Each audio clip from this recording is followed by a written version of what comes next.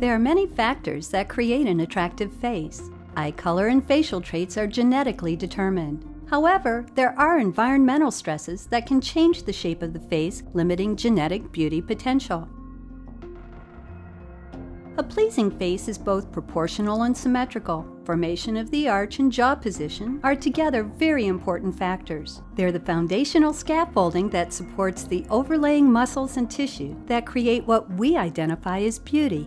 It's common to have distortion occur as a result of mouth breathing. Allergies, enlarged tonsils and adenoids, and deviated septums create problems. Chronic mouth breathing causes the tongue to drop down to the floor of the mouth the arch formation narrows and the teeth become crooked and crowded. The upper teeth tilt back, the lower jaw moves back or recedes, compressing the jaw joints. These changes not only cause facial deformities, but also migraines, headaches, neck pain, TMD, and other sleep breathing disorders. In women especially, symptoms of facial, neck and joint pain, and stuffiness or ringing in the ears result because the muscles are strained, fatigued, and overworked. Over time, these supporting muscles develop painful muscle spasms. As the muscles contract or shorten from spasm, they also change the underlying skeletal structure, leading to an unattractive and or painful change throughout the body. Forward head posture, like a turtle head, changes to the spine, uneven hips, legs, and feet can become painful and compromise overall function and health. A narrow arch form can force the tongue back into the throat and block the airway, causing snoring, sleep apnea, and other breathing disorders. This affects both children and adults and has severe health consequences and complications. This includes high blood pressure, stroke, insomnia, heartburn, acid reflux, daytime sleepiness, and fatigue, along with diabetes, ADD, ADHD, and bedwetting.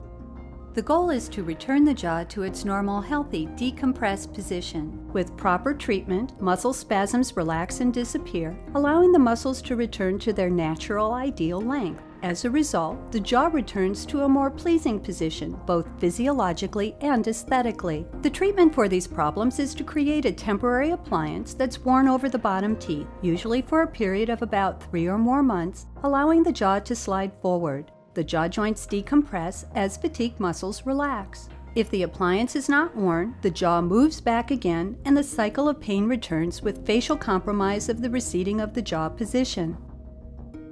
The treatment choices vary according to the age, pain patterns, and level of complexity of the patient's needs. Typical treatment for an adult with pain patterns would involve the use of an orthotic. If the teeth are in need of structural support, the bite can be reconstructed in porcelain. The natural, beautiful ceramic protects a tooth like a cast protects a broken bone. For younger patients, or those who are blessed with healthy and naturally beautiful teeth, the treatment would follow a more orthopedic and orthodontic plan.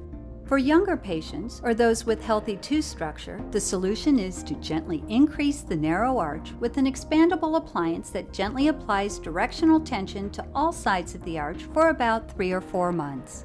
By widening the arch, more space is created to accommodate room needed to straighten the teeth. Additionally, it creates the necessary freedom for the tongue to reposition to a more healthy location that does not block the airway.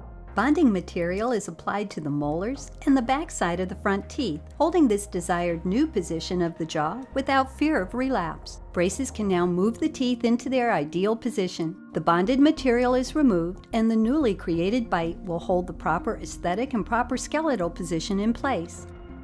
Not only has a wonderful harmonious relationship between the bite and complementary musculature been created, but also more symmetrical facial proportions and better airflow to help correct the breathing disorders as well. This is all accomplished with non-invasive techniques. Externally, the tissues have been gently stretched over the new supporting structures, providing a beautiful facelift effect. Ultimately, the patient's arch form and jaw position have been restored, providing enhanced health and beauty.